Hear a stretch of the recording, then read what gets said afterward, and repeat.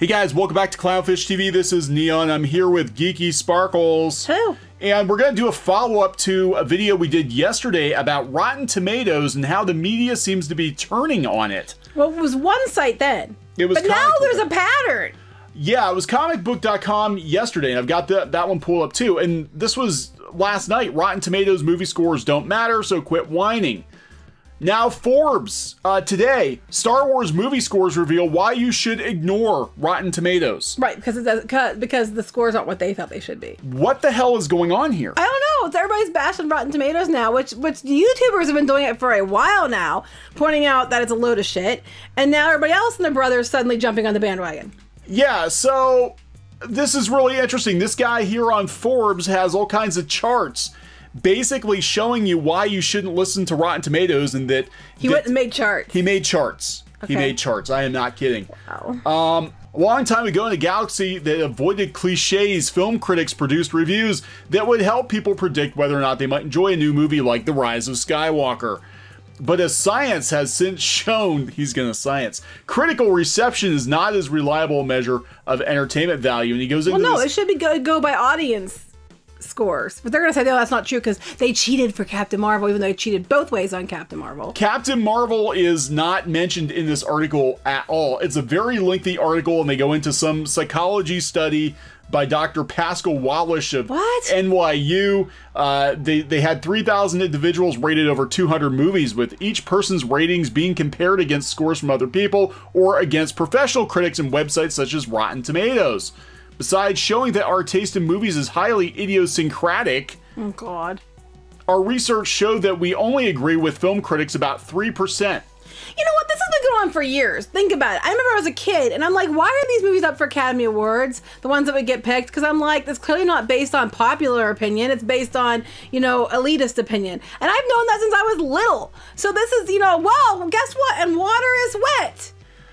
And the movie that that prompted this study was The Last Jedi. Oh, of course it was. Of course it was. It was a divisive movie that was critically acclaimed but generally disliked by the public. Oh, Oh, they're admitting this. are they admitting it now? We're going to talk about this because it, it seems like everybody now is starting to backpedal on the Disney sequel trilogy, and The Last Jedi was basically the straw that broke Campbell's back, or whatever the hell they were racing in the uh, Canto Bight, which we have been saying over and over and over and over again. a lot of people have been saying this, and you know what? The media fiercely defended The Last Jedi.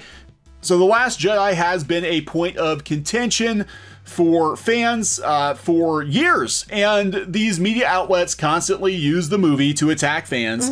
Uh, they propped up Rotten Tomatoes, they called for Rotten Tomatoes to redo the way that it grades movies to defend Captain Marvel, and they made such a big deal over Rotten Tomatoes, and now they're coming out and saying, hey, guess what? It's all a bunch of bullshit. Doesn't really matter, and we've got science to prove it. Well, maybe the checks from Rotten Tomatoes stop coming.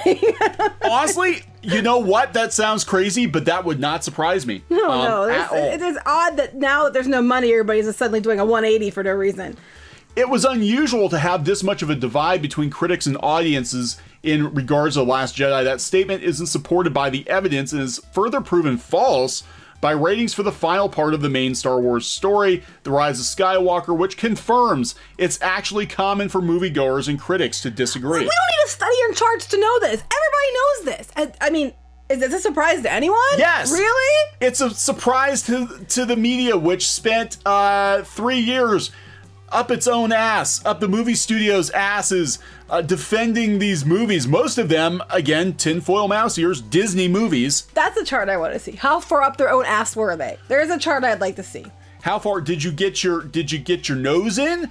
Did you get your whole head in? Could you imagine what the pic? It'd be a pictograph. Can you imagine how that would look? You know, you have your yourself bent over and it sees how far. You know, this this site has their head this far up their own ass. This site has their their head this far up their own rear end. this is just this is like common sense like oh look the final two films have a polarized opinion. The critics love the last jedi and hated the rise of skywalker while the general public has a contrary view. But here's what's interesting too: the critics, quote unquote, were mostly the bloggers that were on these sites that we're talking about. Um, can I see this for one second? You, Yeah. you skip past the actual chart. It's interesting here. Like here's what the different ratings, and then you get to here, and then here's this is the audience on the Last Jedi. Yeah. This is the critical score on the Last Jedi. Yeah. And then on this is the uh, Rise of Skywalker, the audience score, the critical score. I don't know if I agree with the audience score. I think people were. I, I'll tell you the truth because a lot of people said it was a shitty movie. They said it was, you know, admirable that they tried to walk back some of the stupid decisions with the the Last Jedi, but it was still a shitty movie. Disclaimer: We haven't even bothered watching it No. yet. We didn't go to the theater. We sat it out. We didn't go to the dollar theater, and we have not picked it up on digital. I'll tell you what, I've thought about it. I've thought about just the other day, and then I, when I think about actually having to sit through it, I just, I just, I just have a sinking feeling in my stomach, like I don't want to sit through another one. Yeah. I know it's terrible, but I just, I just can't. I, like, I'll, I'll be like, okay, maybe I'll watch it, and then I'll think about having to sit through it for two hours, two and a half hours, and then I'm just like, I really don't want to. That sounds like getting your teeth pulled to me. I, you know th- that's that's how far we've we've fallen out of love with Star Wars, where it used to be like, my God, we have to be there opening night. We have to wait for tickets. We got to get tickets as soon as they go on sale. We got to be there. If we got to call off work to be there, we'll be there. To if I get around to it someday, maybe I'll watch it. No, in in, con- in in contrast, if I see like The Empire Strikes Back or, or Return of the Jedi or you know Rogue One or that stuff on TV, I'm watching it. Yeah. I'm like, oh, this is like the tenth time I watched it. I don't care. I'll watch it again. Well, old movies a lot more than that. I'll gladly watch it again. But when it comes to even trying to make myself watch the, the Rise of Skywalker once, I just can't make myself do it. Yeah, it's and I think it's because you know we've talked about it so much. It was there's so much controversy around it. Uh, there's so much bullshit. You know, all the leaks that turned out to be true that the studios and the directors kept de- denying were true, and now we've got uh, a lot of other people falling out of love with the Disney sequel trilogy. And we'll talk a little bit about that uh, later here. But these the, the fact that they had to make charts This is just that they had to make charts. Like this is ridiculous. Um, if you expect critics and the public to agree, it might be because you've misunderstood the roles of critics. According to the definition, a critic is one who engages often professionally in the analysis, evaluation, or appreciation of works of art. I actually have a second, like almost second degree in art history and art and and, and strong a degree in art and art appreciation, and I've trained in all those things. So when I'm making a, a statement, um, I am looking at things like you know appreciation, evaluation of art. Um, I'm not saying I'm a critic, but I'm trained to do so. And they're saying one who expresses a reasoned opinion or any uh, uh, on any matter involving a judgment of its value, truth, righteousness, beauty, or technique. Um, they were talking about aesthetics. I always look at things from an aesthetic perspective, You know, a lot of uh, fan critics do too, but but they're just because it's not the right opinion. right. So they're dismissed because they're not the professional critics Right. working for the New York Times. But here's the thing: a lot of the fan critics brought up valid points and criticisms, and they said, "Yeah, the cinematography was gorgeous, but that didn't over that didn't that didn't fix the plot problems. The plot plot, plot problems, some of the issues are very bad, and it undoes the whole first first movie. And people, you know, oh, how dare you? How dare you? So you're not only allowed to be a critic if they say you're allowed to be a critic. Pretty much. And if you break rank, then golly. Basically, the whole point of this. I'm not reading this whole damn article. It's like 35 paragraphs of blah, which basically, you know, and charts. everybody, blah and charts, everybody could have told you this. YouTube has been telling people this for years, and they've ignored it because it wasn't the story that they wanted to hear. Um, but now that The Rise of Skywalker is not set well with critics, now we can attack the sequel trilogy. Right now, now you're allowed to. Now you're allowed to. Well, that or the fact that you know uh, they aren't gonna get a cookie from Disney anytime soon. Well, that could be too. That actually could be too, because uh, you know there was a lot of conspiracies about Disney paying off critics. But you know what? Having worked uh, in and around Disney PR, they do what they got to do to make sure their stuff is you, successful. oh, you want that? You know, oh, you know, maybe if it's favorable, we'll get you some uh, passes to be media for uh, Star Wars Galaxy's Edge or whatever. And here's the thing: we know this happens because they blocked. What was it? Uh, the L.A. Times. They blocked the LA Times because they gave a bad review of a movie. So Disney actually blocked the LA Yes. Times from having access because they gave a bad review for one of the films. That actually happened. You can look it up. And then they backpedaled after uh, popular opinion came back out, and people were like, "Wait, what? Because they gave you negative opinion, you're you're blocking them. How's that giving us fair, unbiased journalism? Because there's no such thing as fair and unbiased journalism when it comes to Disney, unless you're an outlier like Pirates and Princesses.net. Yeah, get that plug in there. I did. Yeah, but they, they've done that before. They've actually blacklisted media outlets. They will blacklist uh, Disney fan sites that don't play ball. Mm-hmm. Um, they will actually go on the offensive. They actually, Disney, their uh, PR guy, the, Thomas Smith over at the Disney Parks blog, took to attacking Disney fan sites that did not toe the line. Well, even that, when you get there, you get okay. So you get media access, and you get there, and you get to do the interviews, right? The real jour- the, what journalists want to do interviews. You're given a list of questions you're allowed to ask. You're not allowed to Yeah. just ask questions like for real answers that are, you know, hey, the public wants to know. No, no, you're given a list of questions that they have been programmed to answer, so that it's like animatronics. So that they are they are ensured the correct responses are given, uh, and the correct quotes are posted in your articles. This is how much they control how what is what is put out there. So do you think for one minute they wouldn't do what they had to do to control Rotten Tomatoes, which they, they the guy who runs it worked for Disney for years? Yeah, it's it's not that much of a reach. I mean, you want to talk conspiracy when there are billions of dollars on the line, is not that much of a reach to to make a very logical conclusion that Disney will do what they have to do, Mm-hmm. especially when Rotten Tomatoes is basically viewed as a marketing tool now and not a legit. It's not legit. It's not a legit. So they'll do what they have to do to control the narrative. We've seen it firsthand. And where the biggest controversies were over Captain Marvel and the Last Jedi. Right. You so things all changed to, to, to you know make it easier for those two films, even though it didn't really work for the Last Jedi. No, it didn't. But I'm just saying it, they were Disney-owned movies. That's what all the controversy was about. Uh, was uh, Disney-owned movies, and that just kind of spilled into a bigger conversation. But uh, you know, talking about backpedaling, I want to bring this up. A couple things here before we sign off. One, Ghostbusters 2016. People are falling out of love with it. Yeah, it's interesting. Everybody has been going back to this well over and over again. Why toxic, uh, toxic man baby trolls exist? It all started because of Ghostbusters 2016. The misogyny, the man baby tears, the incels, wham wham wham. You know, phobia isms, whatever, and they always, always, always go back to Ghostbusters 2016. And now, now they're like, well, maybe 20, Ghostbusters 2016 wasn't as good as we thought it was. Yeah. I'm like, Uh, are you effing kidding me? Yeah, I know, right? It's like they spent all this time attacking fans. Like even last year, this article from Vox talking about Ghostbusters 2016 being the harbinger of things to come.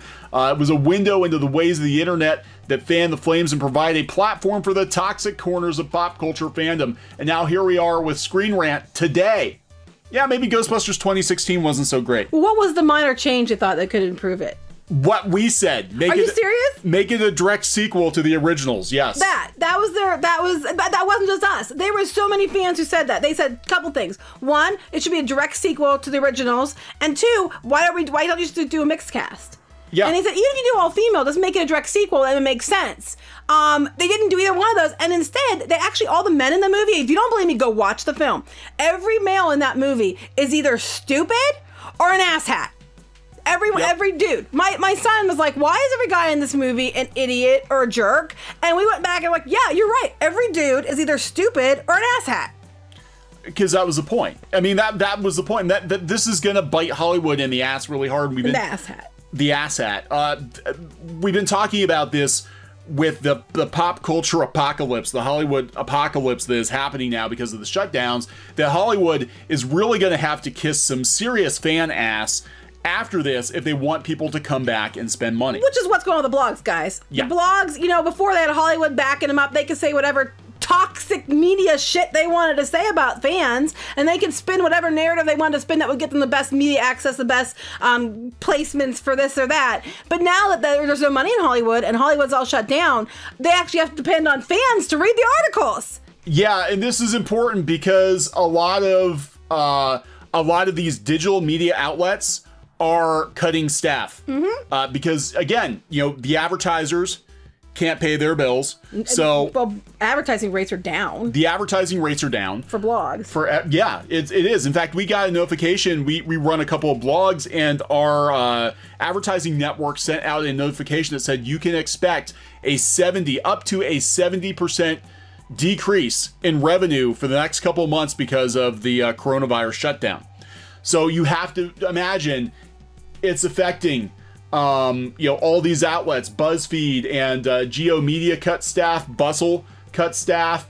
Um, journalists are being laid off. One of the first round of layoffs was actually uh, Orlando Weekly because what are Yep. they going to cover? They, they cut like 13 people, boom. And so all these journos are looking at potential unemployment. Well, and the bloggers that are that are you know kowtowing to Hollywood, they're going to feel it eventually because you know fans don't trust them anymore, and now they're trying to, to backpedal to be like, oh look, look, we're one of you again. Yeah. we're one of you again. I swear. But now the damage has already been done. It's like you just called me a troll because I didn't agree with your opinion like three months ago. I, I didn't like She-Ra's outfits. You said I was uh, I was a misogynist even though I'm a woman, and now you want me to follow your blogs because you need you need the hits to stay in business. Yeah, so that's what's going on here. Um, I don't think these opinions are, are genuine. When these when the, the money was flowing like water, Vox could have all the hot takes they wanted to. Mm-hmm. Gawker, you know, we know what happened with them, but G/O Media, IO9, they could say whatever the hell they wanted it to. benefited them because it was clickbait and it Yeah. would like get people to click on it and make people mad and then they talk about it and then like you know like we did with videos and it gets them you know interested in these articles that they normally would not probably look twice at Yep. and that's why they did it and now the money's not there to clickbait. So the only way you're gonna get people to come to your articles is to be like oh we're sorry fans.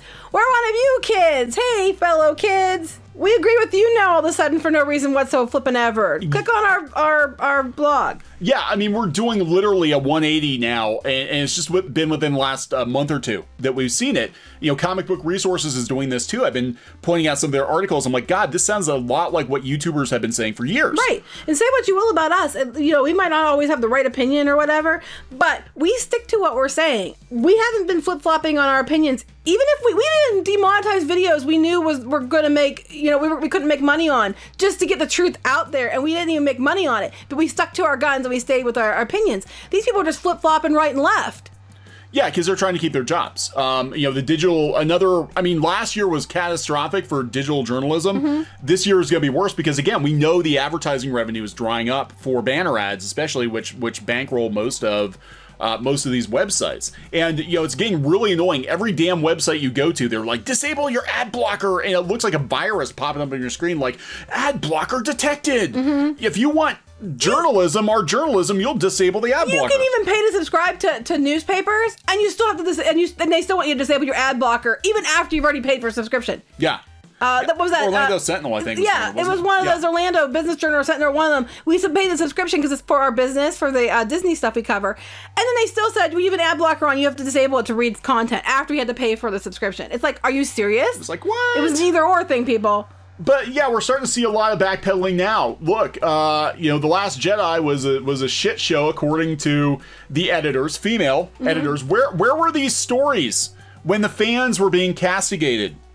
By Lucasfilm and castigated on Twitter and uh, by the media. Where where where were these stories? I'm sure these ladies were speaking up back then too. Oh, but they weren't, you know, they weren't listened to then because they didn't have the right opinion. As I have run into numerous cases as a woman, most times as a woman, if your opinion, your your your opinion matters if you're a woman and has a, a stronger opinion than everybody else's, unless it's different than what their the narrative they're spinning, then they step over you and you get marginalized twice. And that's probably what happened to those ladies.